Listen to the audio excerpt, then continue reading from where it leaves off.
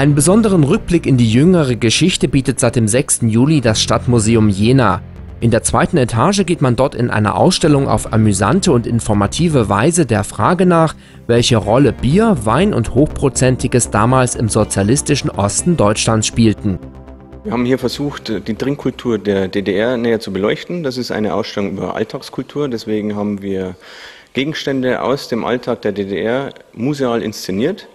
Und diese Gegenstände sind für sich schon sehr sehenswert, aber meistens erzählen wir auch noch Geschichten und Geschichte dazu. So kann der Ausstellungsbesucher etwa in einem nachgestalteten DDR-Wohnzimmer Platz nehmen und einige dieser Geschichten rund um den Alkohol in Bild und Ton erleben. Neben den feuchtfröhlichen Privatpartys erfährt man auch etwas über die Trinkkultur im öffentlichen Raum bei verschiedenen Festen. Die Gaststätten sind ebenso ein Thema mit ihrem typischen Mangel an Sitzplätzen und den langen Wartezeiten. Auch wenn es an vielem fehlte, hochprozentiges war genügend vorhanden und der Staat verdiente gut daran mit. Während im Westen eher Wein getrunken wurde, war die DDR Schnapsweltmeister. Im Wendejahr überflügelte man den westlichen Nachbarn auch im Bierkonsum mit 146,5 Litern pro Kopf.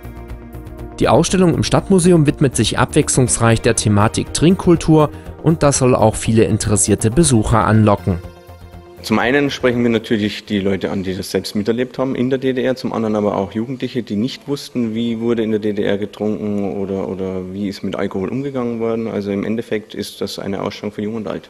Und ansonsten haben wir hier natürlich keine Verherrlichung, sondern äh, wir haben versucht, äh, die Balance zu finden zwischen äh, trinkender Geselligkeit und auch dem Thema Sucht.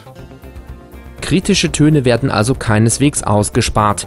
Der Tisch Walter Ulbrichts, einem erklärten Gegner übermäßigem Alkoholkonsums, ist in einem nachgestalteten Zimmer aus einer Suchtstation zu sehen. Noch bis zum 7. Oktober, dem Tag der Republik in der ehemaligen DDR, wird die Ausstellung in Jena gezeigt.